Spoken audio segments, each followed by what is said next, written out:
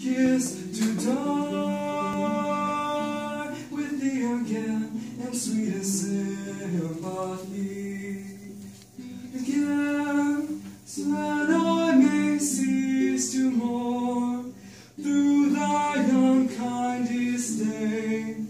For now left and forlorn, I sit, I sigh, I weep, I faint, I die tender sweet sympathy. Gentle love, draw forth thy wounding dart.